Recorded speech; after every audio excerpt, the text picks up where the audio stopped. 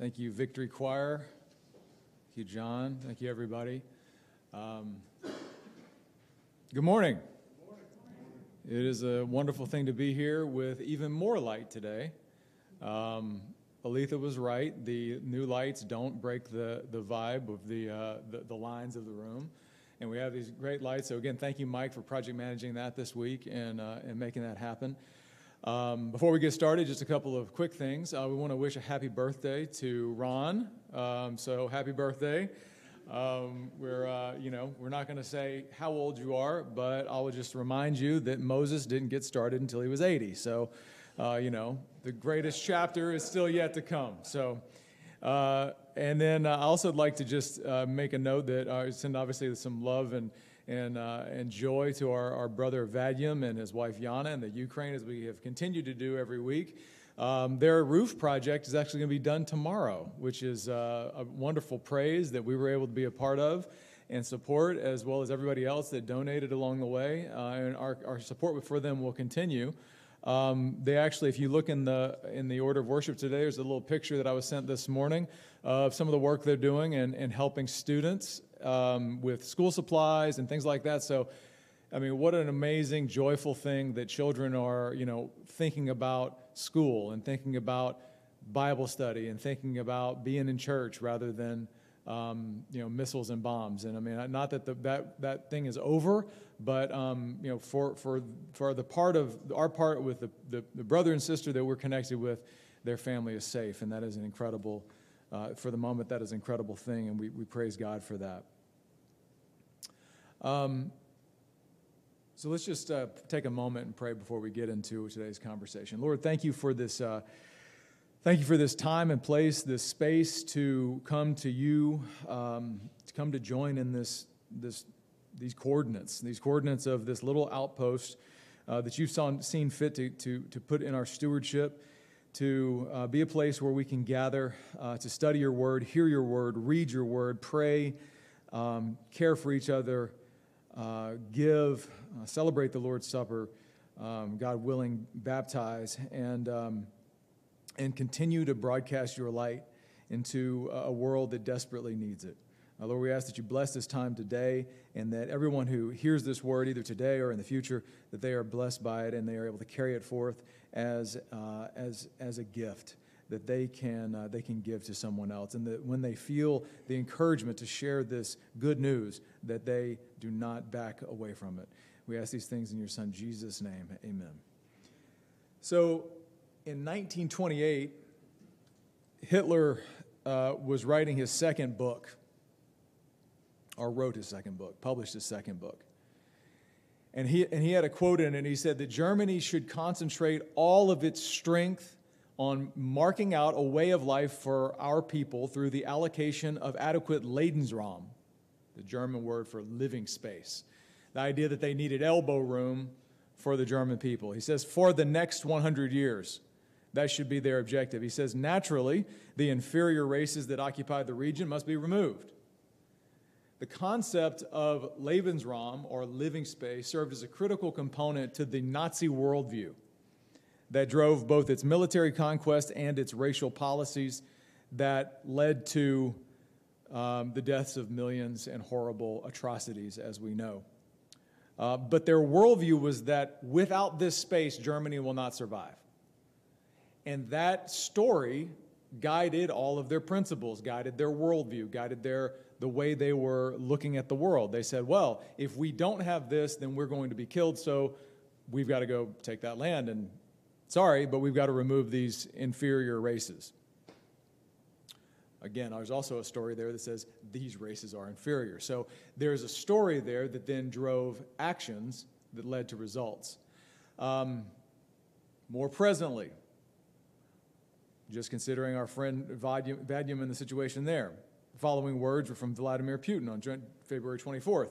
The purpose of our operation is to protect people who, for eight years now, have been facing humiliation and genocide perpetrated by the Kiev, regime.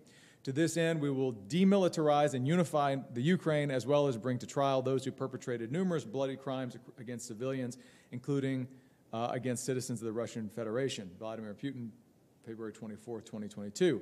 This worldview says that uh, we must, these people are oppressed, so we must protect them. And that has obviously led to actions that's led to results. Uh, the point here is that both of these, um, both of these worldviews are based on what are perceived to be facts, and they created stories that created actions that created results. Stories are powerful things. And that's one of the things we're going to talk about today about what exactly is a story. Like, we think about that and we hear the word story and it can conjure up a lot of things. We can think, well, it's a news story, or the phrase, hey, you're telling me a story, or you're telling a story about this. Uh, the dictionary says story, the, the definition is a, an account of imaginary or real people and events told for entertainment. That's one view, um, or one definition. A story, a plot or storyline. Uh, this novel has a good story. Uh, a report of an item of news in a newspaper, magazine, or news broadcast. A piece of gossip, a rumor. There have been a lot of stories going around, as you can imagine. Uh, a false statement or explanation. Here's where we get to the part that triggers people. Ellie never told stories. She always had she always believed in telling the truth. It's the idea that a story unknown, its face is always false. An account, final definition, an account of past events in someone's life or in the evolution of something, or a particular person's representation of the facts of a matter, especially as given in self defense. During police interviews, Harper changed his story as the, is, the, is the usage there. You can see how a particular person's representations of facts as a matter, especially as given in self defense, is what we see in the words of Hitler, and it's the justification used by Vladimir Putin. Frankly, it was used by George Bush. It's been used for countries over and over again that we're doing this in order to protect ourselves, or we're doing this in order to whatever it might be. But regardless of whether it was true or not, in many cases, you will find, if you look through history, many wars are the result of stories that were not based on facts. They are. Uh, they are constructs. And what we're going to talk about today is that we all have stories. And we've all been given stories. And those stories, many times, are based on things that are not true. These stories that are not based on things that are not th- things that are not true, in fact, based on lies, often control our world and blind us from the actual truth. And when we act on these stories that are based on lies, we create oftentimes destruction. And if we're God's children, at the least case, discipline. So we must be constantly on the hunt for what these stories are that are in our lives. The Word of God and acknowledgments, the Word of God and acknowledgement of facts over feelings are our best, tool, best tools these facts, these, these, these actions rather, these actions will lead us to facts. The Word of God and acknowledgement of the facts lead us to facts. And when we get into the truth of what our situation is, the outpouring of that is urgency, holy living, action, joy, reward when we are, when we are standing on the truth.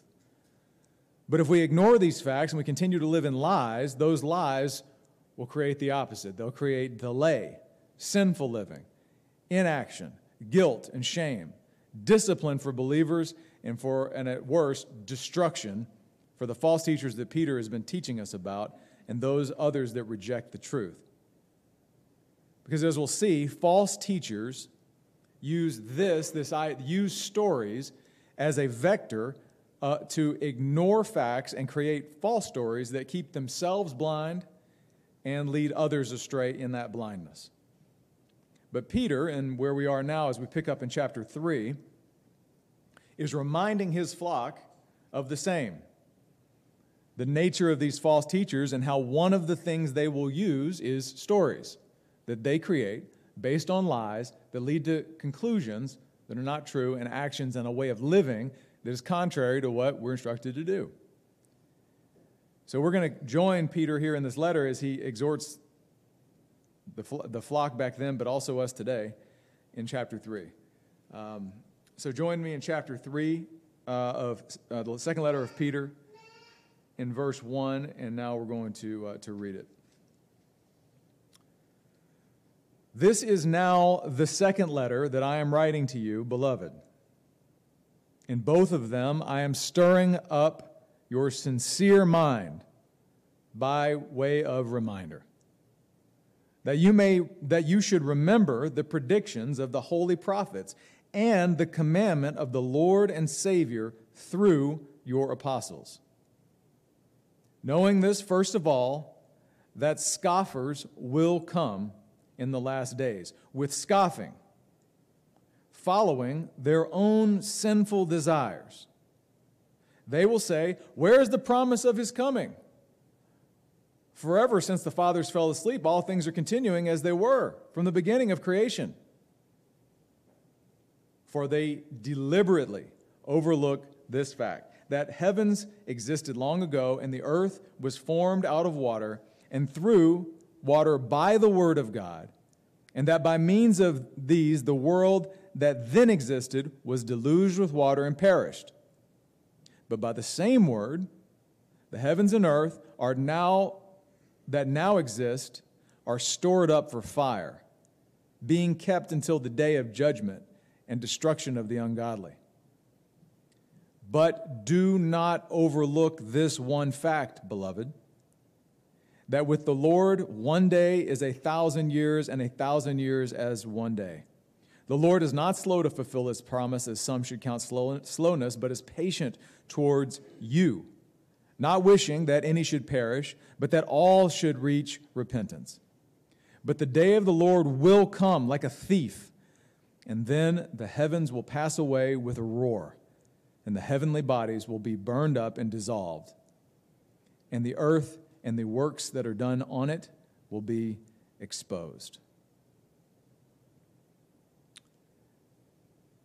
And we're going to capture that next one too. Since all these things are thus to be dissolved, what sort of people ought you to be in lives of holiness and godliness, waiting for and hastening the coming of the, of, of the day of God, because of the, which the heavens will be set on fire and dissolved, and the heavenly bodies will melt as they burn. But according to his promise, we are waiting for new heavens and a new earth in which righteousness dwells. So, as we join here, again, we see Peter coming back to this idea. Number one, we see at the beginning, he says, This is my second letter. So he's acknowledging that this is, uh, this is the second time that he has sought to stir up his, his believers. And again, these letters are going out across Asia Minor. But it's interesting here, it's important to look at the text closely because he says, This is my second letter that I am writing to you to who? Beloved. It's the, it's the view of, of his beloved flock, people that he knows. Uh, he says, In both of them, I am stirring up what? I'm stirring up your sincere mind. This idea of the sincere mind is one of, of, of, of, a, of a clean mind, of, a, of, a, of an oriented mind of one that's focused on the word. He's like, I want to stir that part of your mind up. I'm doing it again. And as we mentioned a few weeks ago, he's in this his act of look. I, I know you may know you have everything you need. You I know you may know what I'm telling you again already, but I'm going to stir it up again because it's my job. I only have a few days left. I might, as we mentioned, he might these might be his last words as he's getting pulled to be executed. He might have been yelling to the to the to the to the, uh, the, the scribe, put this down on paper, uh, you know, as he's getting pulled out. It, it's like that level of urgency and, and desire to get these final words out to, out to his flock, to his beloved.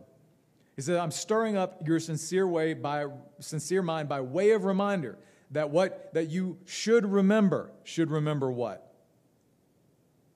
The predictions of the holy prophets and the commandment of Lord of the Lord and Savior through your apostles. So what he's saying here is you have the Word.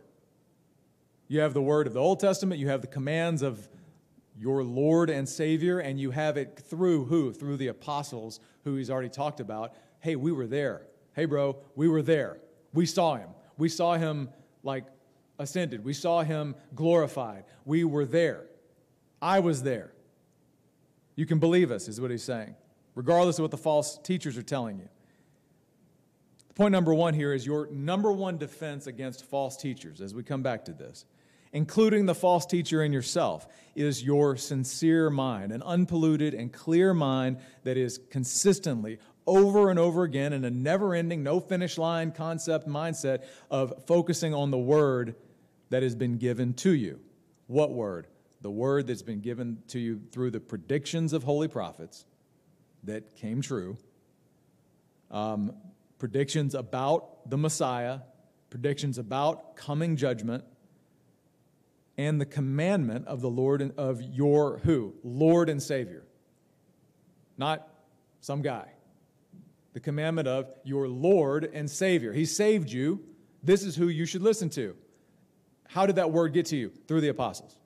Because as we saw earlier, he says, You love him though you did not see him. In order to see the truth, this is where we've got to, this is the foundational. In order to see the truth, you must accept the truth of the Word of God as truth. Otherwise, you are susceptible to cleverly devised myths. If you deny the absolute truth of the Word of God, you are vulnerable to false teaching from others and from yourself. But if you stand on it and expose yourself to it, expose yourself to the truth that this is and the sin that it reveals in each of us when we stand next to it. And you feel that heat, you feel that like, you know, I know it says, you know, do not steal. Well, I haven't stolen anything this, this, this week. I'm good. Well, really? If you, we don't have time to expand on this, but if you go through what stealing really is, like maybe you're, you're stealing maybe time, Maybe you're stealing in your, there's one, one verse was, earlier this week, it was talking about uh, don't be false in your weights and measures. I was thinking about marketing. Like, marketing is often false in its weights and measures. It's the difference between saying, oh, we're a $100 million company when you're really you're an $89 million company. It's like little things, little lies, right? That's stealing. Thou shalt not. It just, well, I didn't mean to, right? But it just exposes when you get that close to the mirror here it's, it shows you wait no dude, you're pretty you're pretty far from the standard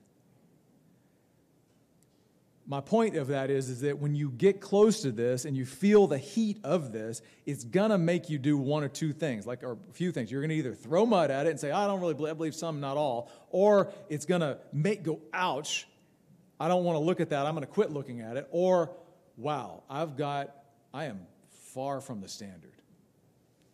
Lord, save me. What, do you, what, what would you have me do? Let me forgive, please forgive me. Who do I need to forgive? Where do I need to repent? Which way do you want to blow this dust? If you do that, guided by the Holy Spirit, you don't need to fear false teaching. You'll spot it. You'll spot it. No problem. Your capacity to spot and expose and willingness to rebuke false teaching is entirely proportional to your proximity to this. And that's one of the reasons why at Trinity Church, as we talked about, we we, one of our distinctives is that we will feature expository teaching. It's always going to be what does the word say, not as what does some teacher say. What does this say? And we're always going to come back to this. That's going to be, that's the way we operate. Because it takes, takes us out of it. It just says, how do we take what's here and broadcast it? In a recent interview, Jordan Peterson, who's a famous psychologist, many of you may, may, be may, may know and see him around on every social media channel, at least on my feeds. Um, there was a clip, and, and he argues uh, that the Bible is a text upon which all other texts depend. Really interesting point I had never thought about.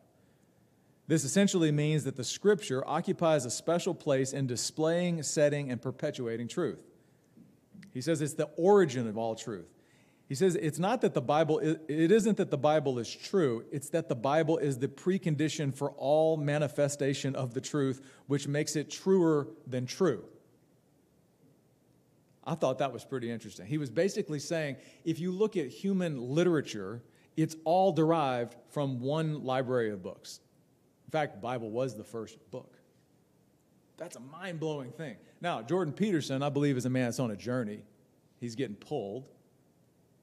It's interesting to watch. Um, he says it's a whole different kind of true. I think, it, I think it's not only literally the case, factually, I think it can't be any other way, is what he said. We welcome Dr. Peterson to this revelation and pray that God will continue to draw him to salvation in Christ. He's a powerful, influential person. Um, what I see in him is a man that's viciously in pursuit of the truth and willing to let go of things, uh, let go of past stories in lieu of new facts. Um, that's where we have to stand. If you stand any other place than that, you will be driven by the waves and the wind of whatever the latest thing is. You'll constantly be searching. You'll constantly be looking for something new. You'll constantly be looking for something else. It's always this thing. Instead, you can just come here. It's truer than true. It's the origin of all truth, right here. Imagine that, right here. But why do we ignore it? sinful desires. That's what we see in the scripture. Sinful desires. They're following their, following their, in the last days they will come following their own sinful desires. Why do we do this? Why do we follow our own central, sin, uh, sinful desires? As we've talked about before, you can trace every single sin, everything that we're doing, it all comes back to one sin pride, which says, I know better than God. It's always pride. What's the device that we use to ignore the truth? Stories. Stories are a device for us to ignore this. That is to say, I say what is true, not this says what is true. We ignore the truth, we ignore facts, and we create our own story that says that we create our own story that gives me what I want instead of what God commands. It goes back to right back to the beginning. All we have to do is go back to Genesis 3 and the first false teacher. It's the difference between what God said and what I say. That's really what it comes down to. Let's look at the nature of a story. Now, we're going to come back to the Genesis 3 example, but if we look at what he's given us here, right here, he is, uh, we see the scoffers are using a story. The story of the scoffers. Let's look at it. So, if you join me in the text, uh, verse four or verse three, he says, first of all, know, knowing this, first of all, the scoffers will come. So he's just saying, I'm promising you they will. And we see it today. Turn on the news, turn on anything, and you'll see a scoffer. Probably experience a scoffer. Maybe you've experienced somebody saying, uh, you know, whatever, even about the word. Most, de- most definitely, they'll come after the word. They make fun of. In the last days, they will, they, scoffers will come with their scoffing, their mocking, following what? Their own sinful desires they will say, Here's the story. What is the promise of his coming? For ever since the fathers fell asleep, all things are continuing as they were from the beginning of creation. Their story is Jesus isn't coming. Why? Because nothing has changed since the beginning. So, here's that's the lie. We're going to see that that's a lie. Nothing has changed since the beginning. Actually, it has changed from the beginning. They're completely, as we'll see, they're deliberately overlooking the facts. But their lie is I just want you to see this, the structure of the story. Jesus is not coming. How do I know? Well, because everything stayed the same. Lie. So, what is the outpouring logic of that lie? Well, I don't need to fear judgment. So, I'll follow my own sinful desires. There's no judgment. I don't even worry about it. This goes back to what Paul had written, written, uh, written numerous letters again, saying, hey, just because you're free in Christ doesn't mean you should just go sin willfully. It says, by, by no means. Like that's, a, that's an abuse of grace. That's, not the, that's not the heart of the believer. That's not, that's not our orientation. But that's what these teachers were teaching. Hey, you're free in Christ, man, do whatever feels good. You do you. Be, have your best life today. Follow whatever makes you happy. So there's their story. Jesus isn't coming because nothing's changed. So I don't need to fear judgment. So I'll do what I want. Okay? So The lies lead to your lies lead to your logic, which leads to, as we'll see, your destruction, or at best, your discipline. What are the steps of this story? As we, as we said, like there, he's embedding this, this, this lie in here that they are deliberately overlooking. What, so if we look, so if we look at the facts, what are the facts of this? The false teachers say it's been this way from the beginning. The facts are what? The facts are actually, they deliberately overlook what fact? This fact that the heavens existed long ago and the earth was formed out of water and through water by the word of God that by these means and, and by and that by these means of these the world that then existed was deluged with water and perished so they're overlooking the fact that it hasn't always been this way. It was this way and then it was created by the word of god and then it was deluged and it perished. And then he continues and by the same word the heavens and earth that now exist means the ones that now exist are not like the ones that existed before, right? So it's the world is different after the flood, distinctly different. We don't have time to go into all of that, but distinctly different post flood versus pre flood. Um, but by the same word, the heavens and earth that now exist are stored up for fire, being kept until the day of judgment and destruction of the ungodly. So he's saying like they're ignoring that they're, they're saying it's always been this way, but in fact, it's not always been this way. They're, they're, they're, they, they, they propose to be teachers of the truth, and yet they edit the story, as we often do. We edit the story to serve our own needs. We leave out the little part of the Bible we don't want to. I don't want to look at that. I don't like that. It makes me un- uneasy. As I think we've said many times, the Bible is often easy to read, not always easy to swallow. But I'm going to edit that. That's what they were doing. They're just going to take that part out. And it's always been this way, so I don't need to fear judgment, so I'm going to do what I want. Peter's saying, let me look at the facts. I'm going to bring the facts to the front. In light of these facts, um, there's judgment and destruction coming for them.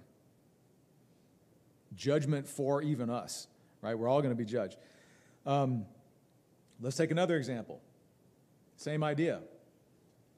Let's go back to Genesis. Where's my Genesis verse? Um, Susanna's, this is where Susanna makes a joke about me having too much paper. Genesis 3, oh, that's easy.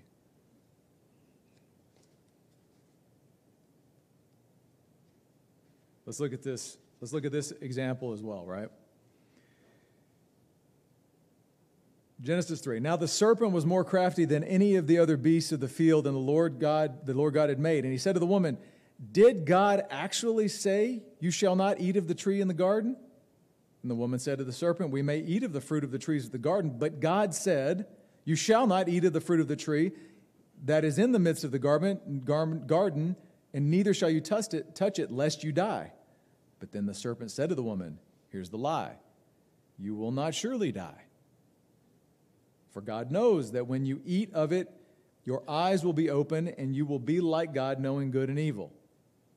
So when the woman saw that the tree was good for food, and that it was of delight to the eyes, and that the tree was to be desired to make one wise, she took of its fruit and ate, and she also gave some to her husband who was with her, and he ate, and the eyes were both were open, and they were naked, and they sewed fig leaves together and made themselves loincloths, and so forth. We know the ending of that story. What was it? My sinful desire, my pride. Satan's trying to get some more in the collusion of his same pride. I want to be like and above God, worship me instead of God. He's saying, You can be like this too. Don't you want to be like God? You should be like God. Appealed directly to the pride of the flesh of Eve. God said that you will die. That was the truth. Satan inverts it. Surely you're not going to die. Did he really say that? Attacks the word, creates a new story. Surely you're not going to die. You're going to be like God. And inside of that new story, they make some decisions based on a lie, which is to eat the fruit because I'm not going to die. But we know that as the result, they suffered destruction and discipline, and sin came into the world, and they were cast out of the garden with the first murder coming soon thereafter. The point here is again, your lies, when you let your lies of others or your own lies lead to your own logic, that logic, more often than not, is going to lead to your own destruction or at least discipline. So, how do you course correct? We've got to exchange these things. We've got to exchange God's word, exchange our lies for God's word, exchange our truth, or our, our logic rather, for God's truth. Because God's truth will lead not to destruction, but lead to knowledge of God's redemptive work in each of us. And when we recognize that redemptive work, the only response can be sub- repentance and submission. Lord, save me. It's Peter. I go back to, I mean, this is the guy that stepped off the boat, looked at the waves, started drowning, put his hand up, Lord, save me. So, we all have stories about each other. We have stories about our current situation. We have stories about our job. We have stories about our spouse. We have stories about our parents. We have stories about our circumstances. We have stories about everything. We have stories about our church. We have to investigate these stories. If we just let them run as a piece of software in the background, and we never test them, there's a good chance, especially if we don't investigate the origin of that story. Where did that story come from? What is, what is, the, what is that story in service to? Most of our stories are in service to ourself, our own, frankly, our own pride. But there's some steps. Here's some questions to write down. Steps to investigate. So, how do I investigate a story? Well, number one, we got to ask ourselves what is the story I'm telling myself about this, about this situation? What is the story I'm telling myself about this situation? That person's lazy. Okay, that's the story you're telling. That person doesn't like me. My wife, blah. My husband, blah. My child, blah. My church, blah. Whatever. I'm saying blah a lot. Um, but then we have to ask is this true? Is this story true? Is it 100% true? And that's the caveat. Is it true? Because our natural thing is to be, yeah, it's true. Yeah, no, that's true. That's my story. It's true. It must be true. I w- I wouldn't be telling myself a lie. We don't like to admit that we tell ourselves lies. We're all liars every day, every single day, all the time. We're lying about something, it's in our nature. We have to be able to be willing to ask is this story I'm telling 100% true? And the, and, the, and the litmus test there is would I bet my life on it? And you go, uh, I don't know if I bet my life on. You know, John's an attorney. Would I, would I, would I, would I go to? Would I? Could I prove it in court? Here's an even bigger one. Could I prove it in the court of God? And you'd be like, oh, I don't know about. I don't know about that one. Okay, well, then, if it's not 100% true, then what is it? Well, I, let me ask myself another question. What would be possible if this story wasn't true? What if it wasn't true that that person was lazy? Well, maybe I'll see that they're not lazy. Or maybe I'd see there's something else going on. Maybe it's a loosening of your story. It's a loosening of the grip on this that this is true. Then you ask yourself your question what are the facts? What are the facts? Not the feelings. What are the facts of this situation? Well, that person's lazy. What are the facts? Well, that person actually does this amount of work that I see them do all these things. Well, I guess it's not. I guess they're not really lazy. Uh, it was easier to tell myself I was lazy. They were lazy because I'm angry at them. So, what are the facts of the situation? And once you start accounting for those facts, just as Peter gives here, he says, don't overlook these facts. What are the, the, the false teacher says it's been this way from the beginning. He says, wait a minute, look at the facts. Actually, it was this way, then it was this way, now it's this way. And oh, yeah, it's going to be another way in the future. What are the facts of the situation? Next question What would be God's perspective on this situation? That's a powerful one. uh, what, what, would God think about this? It's almost the what would Jesus what would Jesus do? It's a little cliche, but it's actually always a good question to ask. What would Jesus do? What would his, be his perspective of this situation? If he was standing right here in my shoes and was looking at this, what would he, how would he view this person? How would he view this situation? How would he approach it? And then ask, what story would God's word give me in this situation? And investigate it. Go to work. What does God's word and my knowledge of it say about this situation? And once I recognize that, what action or direction does what is revealed to me cause me to take? Once I have done that investigation, am I, do I feel a push, a direction to go some way or to take some action?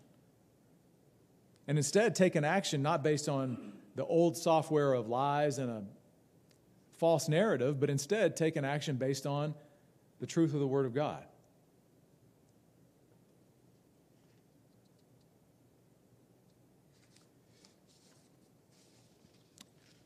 A theological note here is that the literal, at this point about, about the creation narrative that's called forth here, about um, uh, that, that Peter references, is that a literal belief in creation, in Adam and Eve, and Noah's flood, and so forth, are, are essential for a true understanding of God's work both then and now.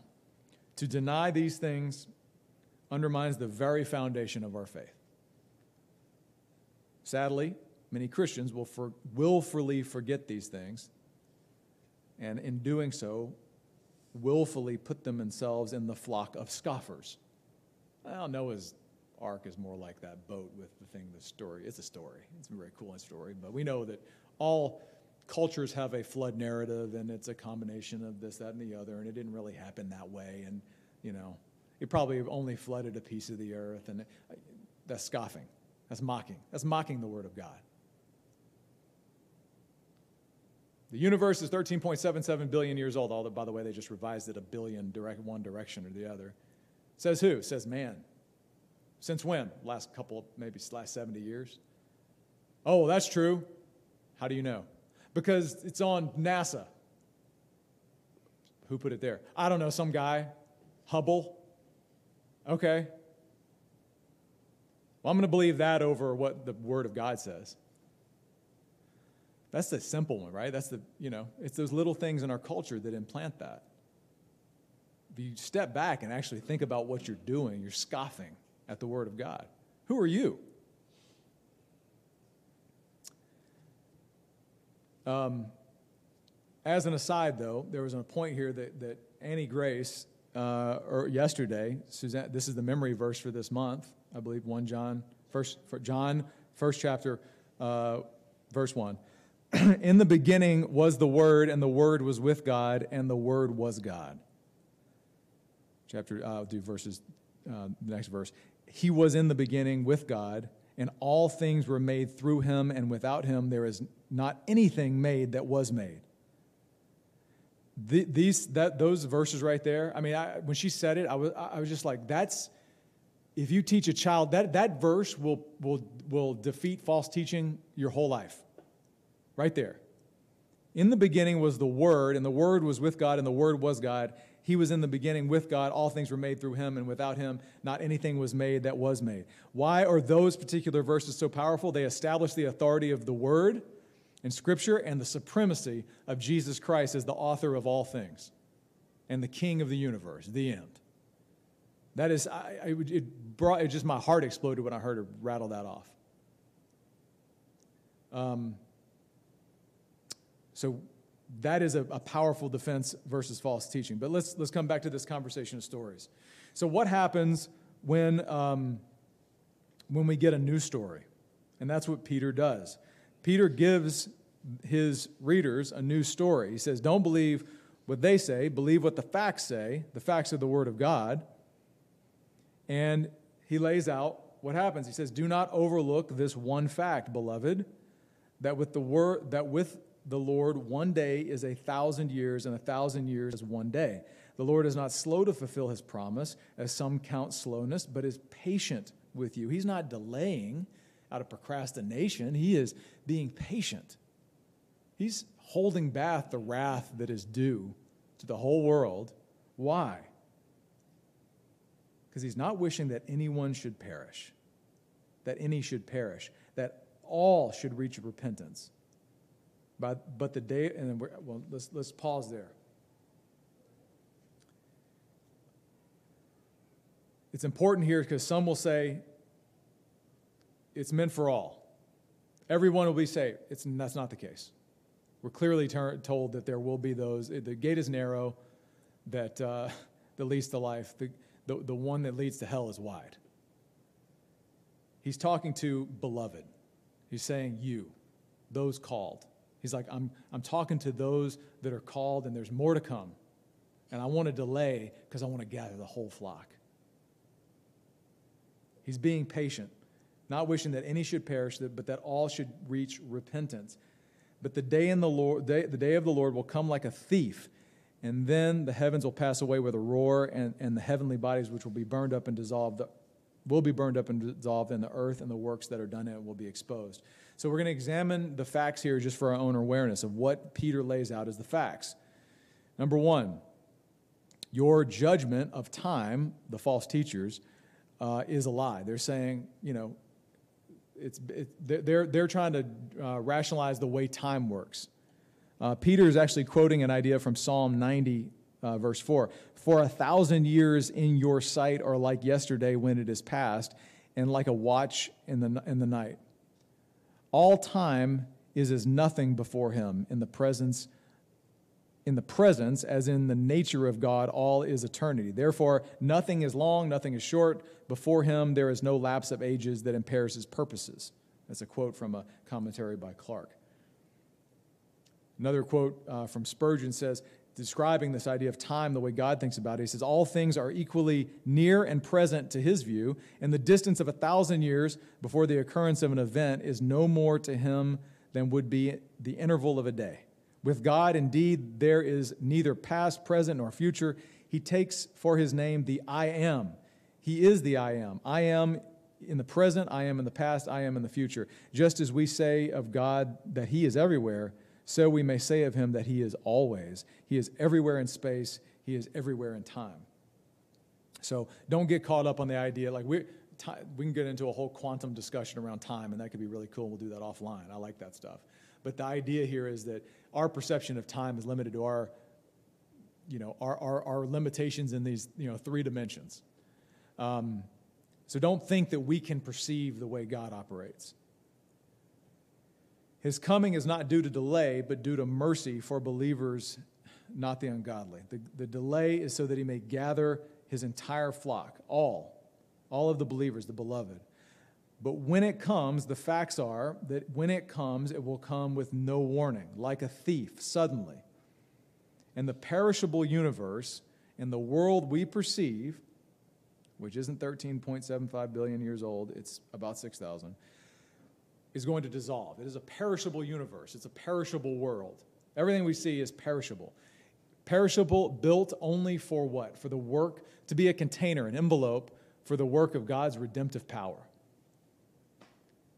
And He's going to make it all dissolve. And the word you see over and over here at the end is three times He mentions this word dissolve. Since for the, in, the, in the verses that actually follow this, I'm stealing a little bit of Vadim Sunder, uh, not Vadim, Vikram.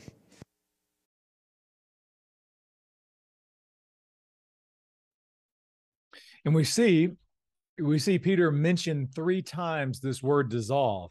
We see in the in the following verse, we see where it says in verse 11, since all these things are thus to be dissolved. We see in verse 12, uh, the heavens will be set on fire and dissolved, and um, that the heavenly bodies will melt. it's this idea of absolute to the quantum level disillusionment of reality. Why? What's going to happen? It, it, we we hear in Luke and in Revelation, so that all things may be revealed. Luke 8 17, it says, For nothing is hidden that will not be made manifest, nor is there anything secret that will not be made known and come to light. This is the prediction of this promise that is coming is that when the day of the Lord comes, everything we see, everything for, down to the most basic element is going to be dissolved. Leaving what? Leaving only the truth. As we see in Revelation, Revelation 20, uh, we see where it talks about then I saw a great white throne and him who was seated in it. From his presence, earth and sky fled away. No place was found for them. And I saw the dead, great and small, standing before the throne, and the books were open. The book, uh, then another book was open, which is the book of life. And the great were judged by what was written in the books according to what they had done. According to what they had done. You see, we are all going to be judged on what we have done. For the unrighteous, their sin will be all that is there, and there will be only hell and damnation for them. But for those in Christ, those who are covered by the blood of Christ, God will only see his son. And we're told instead of seeing um, the sin, we, we're will what we have done will also be seen. Those that those things that where we have stored up an imperishable, uh, an imperishable, undefiled, unfading inheritance, as uh, Peter described in the first letter, where he says, "According to His great mercy, He has caused us to be born again to a living hope." through the resurrection of Jesus Christ from the dead to an inheritance that is imperishable, undefiled, and unfading, kept in heaven for you, who by God's power are being guarded through faith for a salvation ready to be revealed in the last time. Ready to be revealed in the last time. In this you rejoice, though now for a little while, if necessary, you have been grieved by various trials. This again is in uh, the first letter of Peter, chapter 1 so that the tested genuineness of your faith, more precious than gold that perishes though it is tested by fire, may be found to result in praise and glory and honor at the revelation of Jesus Christ. So when God sees us on those that last day, he does not see our sin. He sees only the inheritance. He looks at us and he sees his son and says, You are an heir along with him. So if we look at the facts of this story, of what Peter is laying out. If we look at the actual facts, as opposed to what the false teachers say, which they say he is not coming back, instead, we look at the facts of the following Jesus is coming back. And he will come back delayed? No, he's going to come back suddenly. And all of reality will be dissolved, and all that will be left is what each has done. All things will be exposed, and all things will be judged. And after this judgment, a new heaven and earth will be established because of his promise.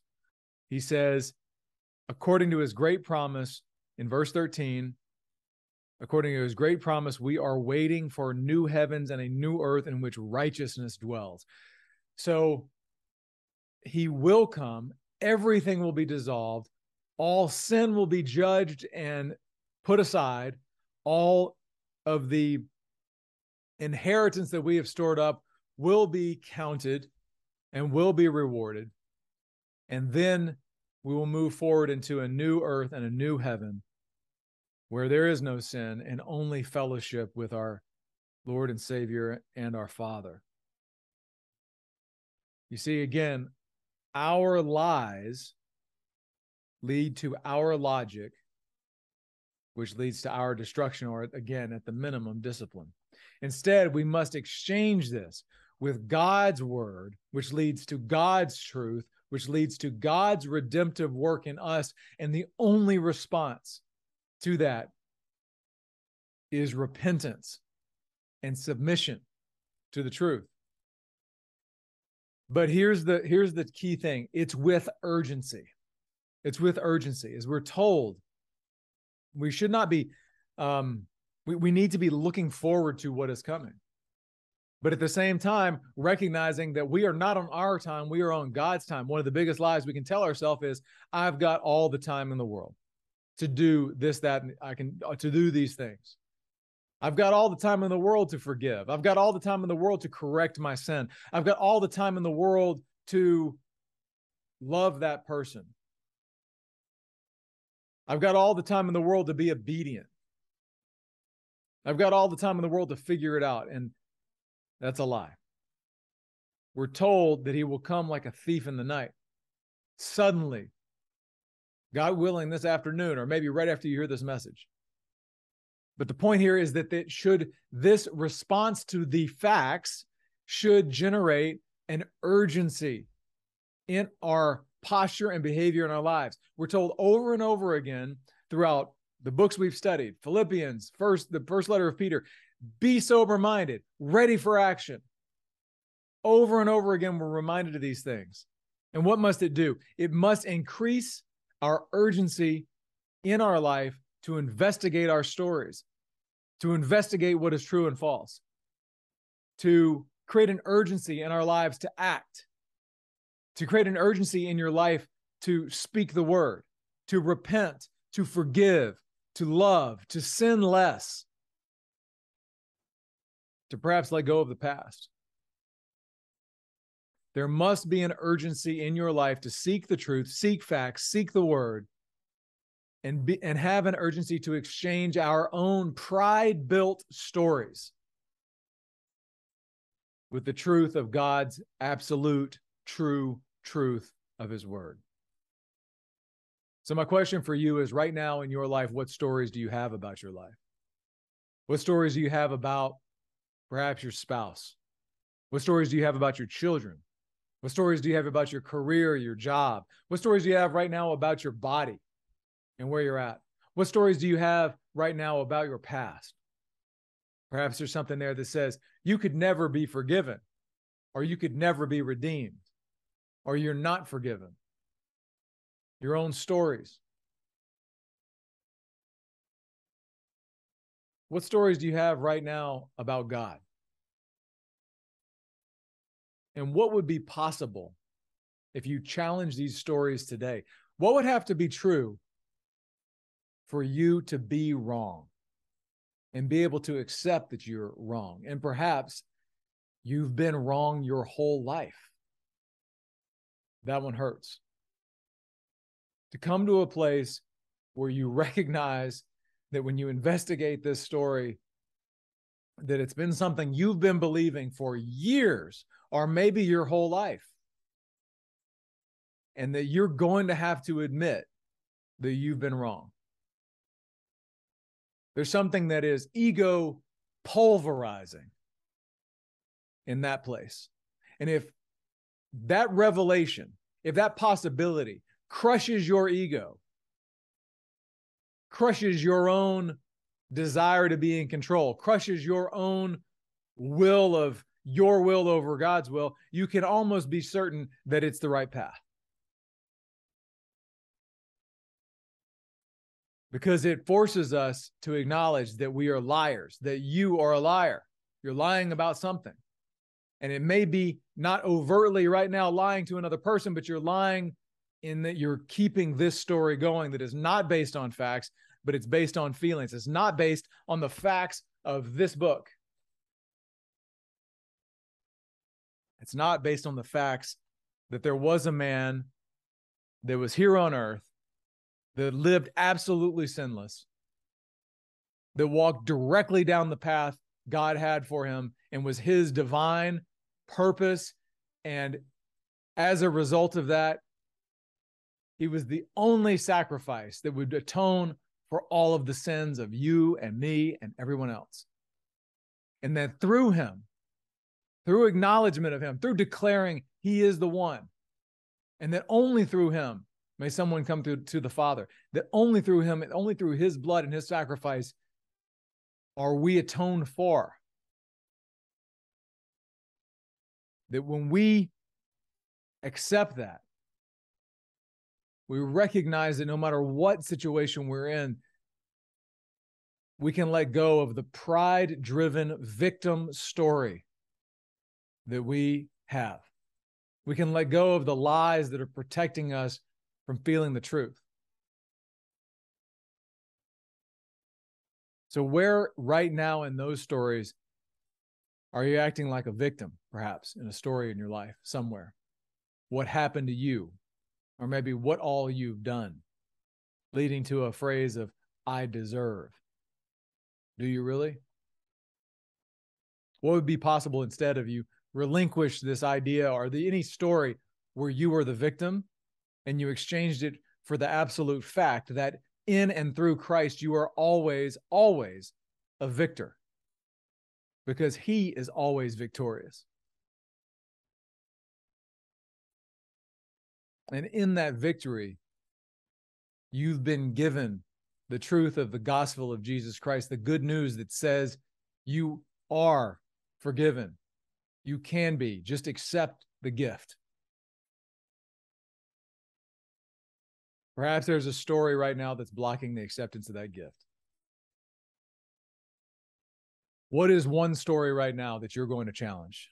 One story right now that you're going to be willing to ask yourself is this thing I tell myself actually true? And test test that story against the absolute truer than truth word of God. Let's pray. Lord, thank you for your word. Thank you for this letter that you've given us. Thank you for the truth that we have access to, whether we want to look at it or not, we can't deny uh, the effect of the truth. It makes us make a decision. It makes us see you. Lord, I ask that whoever hears this message that they uh, they're able to have the blindfolds taken off their eyes that that in whatever story is currently op- giving them the operating system that they have that if it is not based on your word that that the lies inside of it are revealed and that whoever hears this message has the courage and you give them the courage to let go of stories that are not from you and to seek your truth, the only truth in the word that you have given us. And in doing so, access the absolute, unyielding, overwhelming forgiveness and mercy that you have made available to us through your Son, Jesus Christ.